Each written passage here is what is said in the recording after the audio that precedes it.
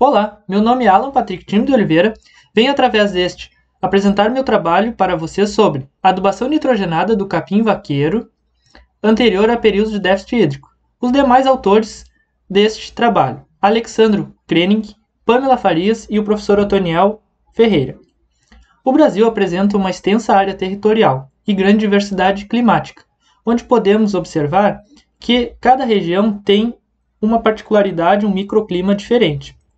Nós, como técnicos, temos o conhecimento de indicar uh, cultivares, né, espécies que melhor se adaptem a estas condições climáticas.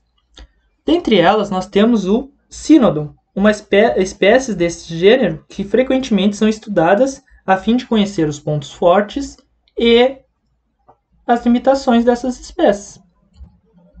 Dentre elas, nós temos o capim vaqueiro.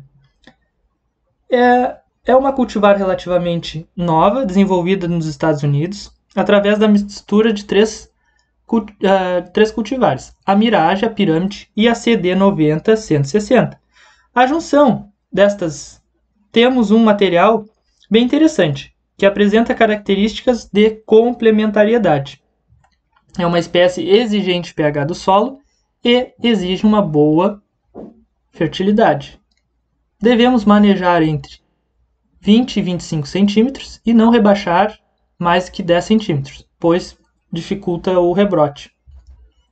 O objetivo do nosso trabalho foi avaliar a resiliência pós-estresse hídrico do capim vaqueiro submetido a diferentes níveis de adubação nitrogenada. Resiliência. Resiliência, no sentido literal da palavra, é a capacidade de voltar ao estado original após sofrer alguma tensão, no nosso caso, as plantas sofreram estresse hídrico. A metodologia foi realizada em casas de vegetação, no Departamento de Zootecnia, no campus Capão do Leão, UFPEL. 24 vasos com três níveis de déficit hídrico. Sem déficit, déficit curto e déficit longo, com duas doses de adubação nitrogenada, onde foi realizado no primeiro momento o corte de uniformização, a aplicação de nitrogênio e sempre mantido em capacidade de campo.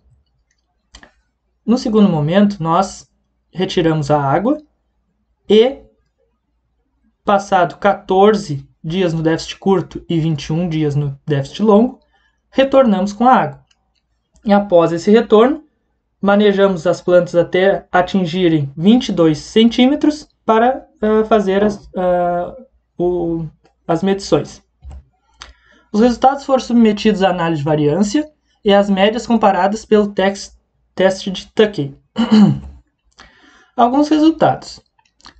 Aqui, uh, na dose de 180 kg de nitrogênio por hectare, o déficit longo apresentou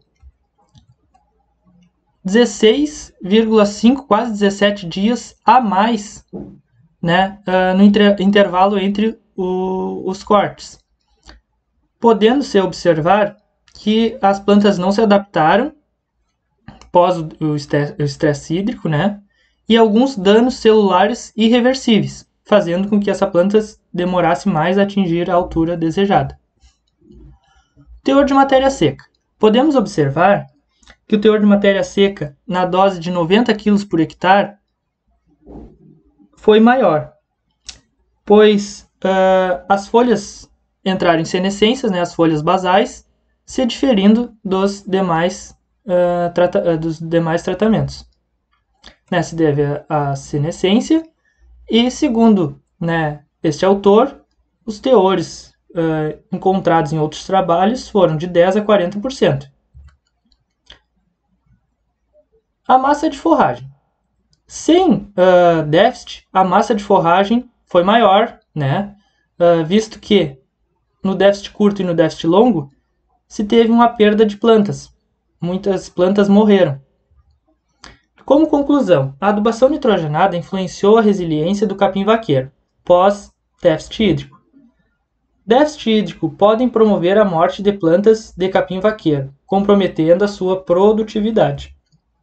Maior massa de forragem é obtida quando o capim vaqueiro é mantido em capacidade de campo, Aqui algumas referências utilizadas nesse trabalho. Queria agradecer ao campus, ao FIPEL, né, e ao grupo de estudos, o GOV. Muito obrigado.